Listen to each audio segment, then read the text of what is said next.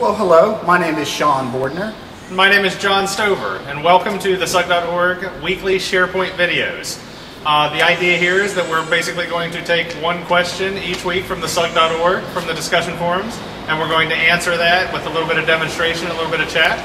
And today we're actually on the fourth floor of our parking garage in lovely Winchester, Virginia. Uh, the idea here is that we end up traveling a lot, so we're just going to try to keep these videos up from wherever we happen to be at the time. So for this, our initial voyage into the SharePoint weekly video answers. Our first question comes from Jessica, a marketing manager. This, this week's question is from Jessica. She's a marketing administrator. This week, Jessica's question is, I'm trying to have a vacation approval process in SharePoint with a calendar so that everyone's vacation will appear in one calendar. Any suggestions on how to make the workflow based upon the user so that that user who approves the vacation is based upon the employee and who they report to. Well, Jessica, thanks. That's a great question, and um, hopefully we can get that addressed for you here today. Um, basically, you're looking at two answers. You have two options here. You have one, you got SharePoint out of the box, and I'm going to walk you through all that. And the other option would be uh, customization, having some custom code written. So there's pros and cons to each. SharePoint out of the box, obviously, you can do this without a programmer, and you can do it right now after you watch this video. The uh, custom code requires a programmer to do it, but you don't have to have a redundant user store, basically. So let me run you through um, the out-of-the-box solution, and then um, John will answer the custom code part of it. So let me just pull up my laptop here and walk you through this. Okay, so let's start out with the solution that would not involve any kind of custom code. And we have a SharePoint-based intranet, a corporate intranet on the screen right now. If I scroll down, you'll see that we have a calendar called Vacation Calendar. So this is just an out-of-the-box SharePoint calendar that we created, and we called it Vacation Calendar. Nothing special there. Now, we also have a list called Staff Directory. So let's go into that list and show you the columns that you'll need to create. Make sure that you have these columns to keep the relationship between the actual user who's entering the vacation request and the person this workflow should be routed to based off of who they report to. So as you can see, we have two columns here. The, the, the first one's called reports to, and this is a person or group type. And the other one is called user. Again, it's a person or group. Those are the two key columns. All this other stuff you don't necessarily need. Um, in this case, it's a staff directory, so it comes in handy, but you don't necessarily need all that other stuff. Just these two, reports to and user.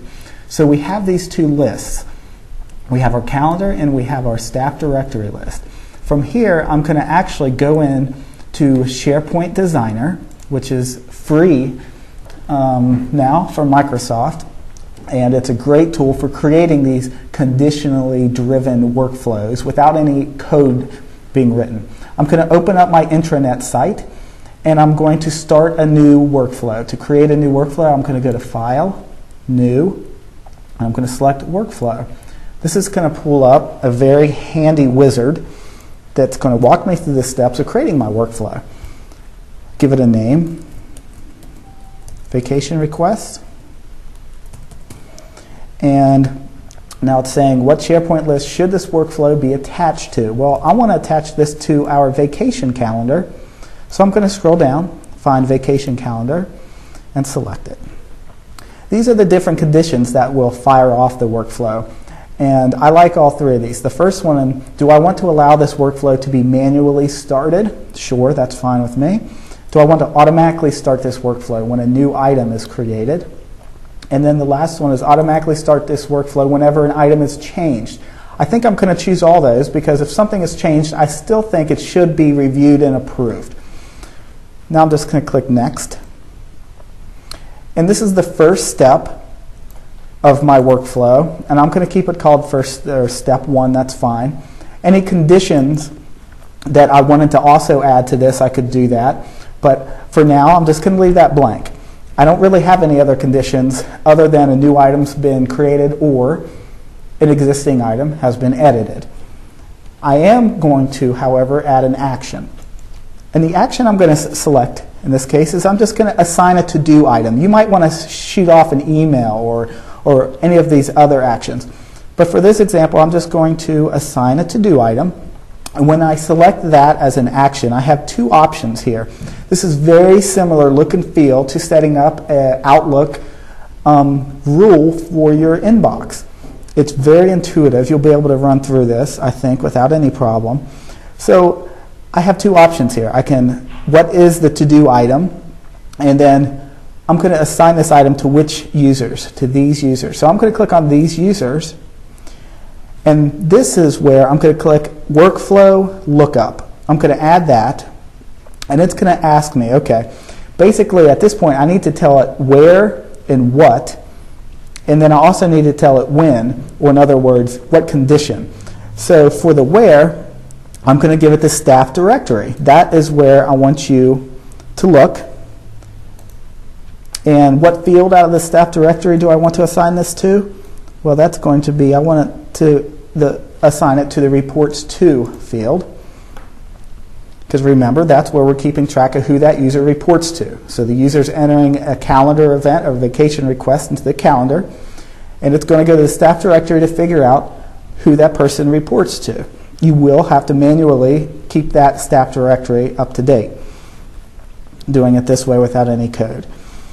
Now, the second part of this is where we're saying when or under what condition. And this is where we drop down and then we say, well, we want to say when the user, staff directory user, is equal to, and we're going to click this little formula button, and we're going to say, to say when the current item user is equal to the created by or modified by, and I'm going to just say created by, say OK. So that's, that's it. I'm going to say OK and it's going to complain because I'm actually using a column here that is not required. And I'm going to say yes, that's fine. Say OK. And that's all there is to it. We just set up an out-of-the-box way of driving this vacation request workflow without writing any code. And we pinned that workflow to that specific calendar over here in our corporate intranet site. And so when a new item is created in this calendar, it's going to run through that workflow. That workflow is going to say, check the staff directory to find out who to assign this to. It's going to go into this list, find out who to assign it to, and assign an item to that particular user.